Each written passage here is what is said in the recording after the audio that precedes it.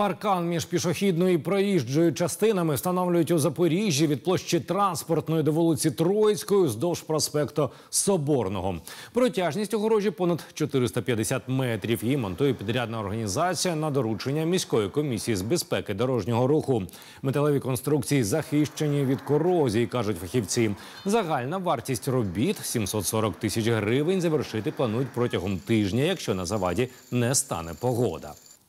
За неделю успеваем поставить 450 метров, а за день это м, может быть 60 метров, может быть 50, может быть 80, в среднем приблизительно так. Погода влияет, кон- конечно. Если даже дождь, м, цемент не будет устаиваться. Поэтому, если идет дождь, мы не ставим забор. Найближчим часом такі паркани з'являться і на інших вулицях міста. Як пояснили в райадміністрації, їх встановлюють в першу чергу задля безпеки пішоходів.